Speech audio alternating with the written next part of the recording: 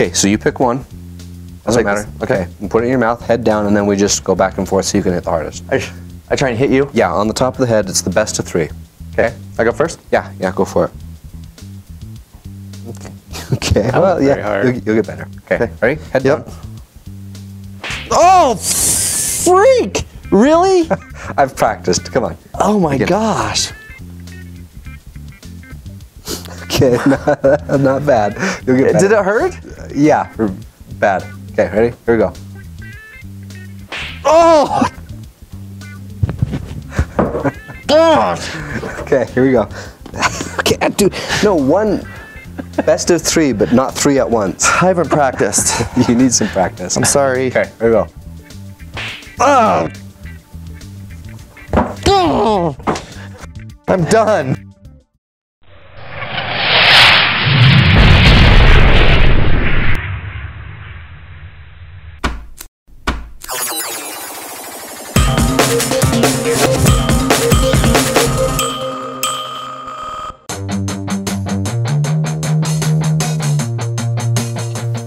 Hi, it's Richie in the Sonic Dad Studios to bring you another preview of the project that will be coming out next week.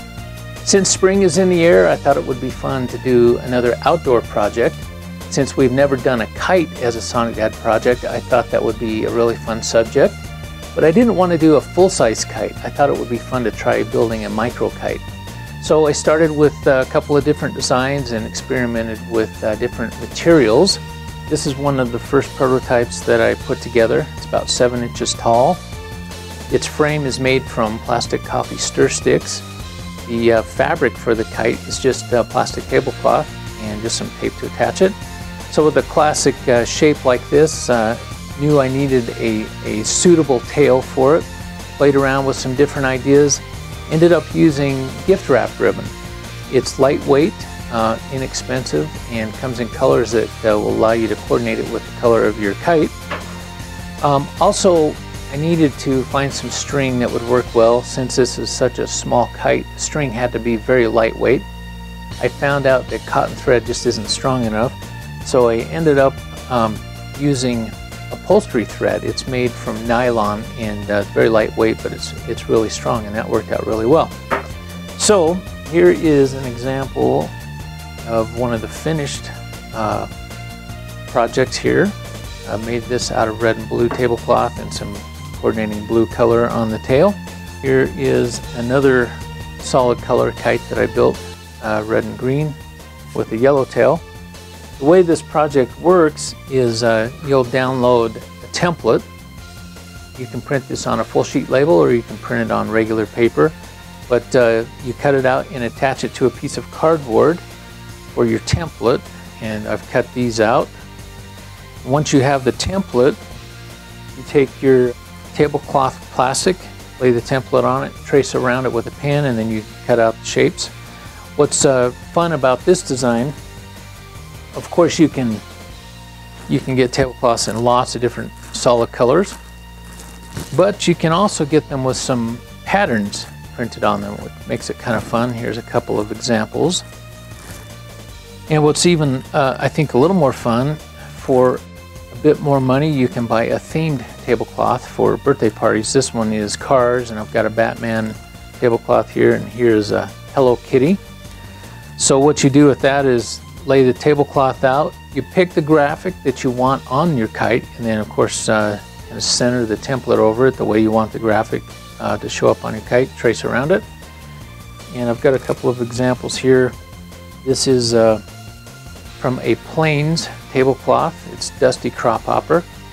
I found that uh, if you're going to put a theme on your kite, um, it's best to use a clear string mount so you can see the graphic better. And I took this clear plastic from actually a Ziploc sandwich bag, and that works really well. So that's Dusty Crophopper. And I built another one here. This is from a Monsters Inc. tablecloth. Of course, that's Sully on there. And uh, chose kind of a silver ribbon to, to go with that kite.